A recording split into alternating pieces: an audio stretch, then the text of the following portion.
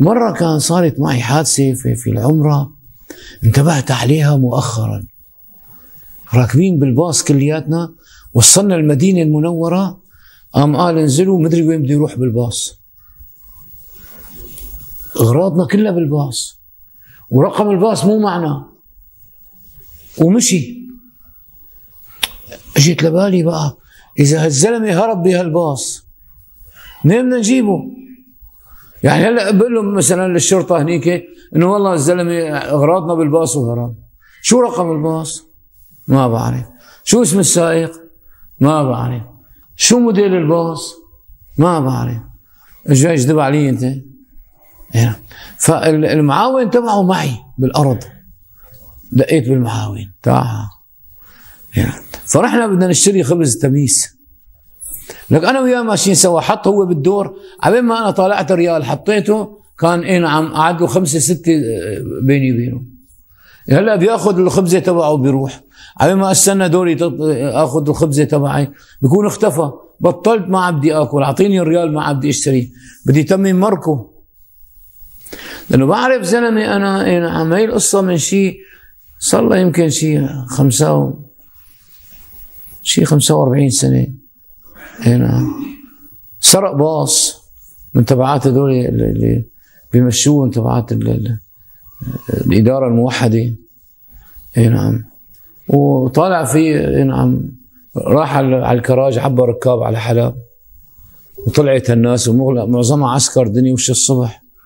وشد فيهم وصل ل اي نعم قبل مشفى حرستا اللي على الطريق على الطريق هنيك. اي نعم طفى الباص. نزلوا يا شباب. نزلوا عطوا دفشه عطوه دفشه شغل الباص قلع بالباص راح هيك للأخير في قرن يرجع منها. رجع طاير وعلى الشام فرد رجعة بعد ما لم الغله إي نعم وأخذ بقى آه، أواعي الناس وأغراض الناس وكذا. فالإنسان لازم يتعلم دروس من الحياة يتعلم منها عبر. وخاصة إذا أنت رئيس الحملة شو بده يقولوا لك العالم؟ أخي أنت مسؤول عنا الغلط غلطك أنت. يعني ما بيقول لك والله يا أخي نحن عازرينك ما بيقول لك عازرينك. وكل واحد معلومك شاري هدايا بقى بالعمرة وشاري أغراض وشاري وشاري وشاري. وهرب الشوفير وما عدنا نعرفه وينه ما بتزبط معنا. اذا السفر العاصي عند أبو حنيفة ما في مشكلة عند الإمام الشافعي مرفوض. فكنا بالطريق نجمع ونخسر على قول على مذهب الإمام الشافعي.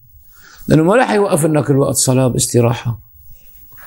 متى ما مشي بده يتم ماشي اي نعم سبعة ثمان ساعات لحتى يوقف باستراحة ثانية واحيانا شو بيساوي فينا؟ لك يا عمي في ناس تاخذ مدر للبول. وقفنا بقرنة إيه يلا في استراحة قدامنا. يلا هلأ بنوصل وذاك مسكين عم يتقطع اي نعم من قد ما له مزروق. إيه وهذا طاير اي نعم ما راضيان يوقف. فسبحان الله يعني نعم يعني أمور غريبة. لا إجماع وقصير. على قول الإمام الشافعي اريح لك قلنا لكم لما رحنا على الحج بالمطار جمعنا وقصرنا. على قول الإمام الشافعي. اي نعم.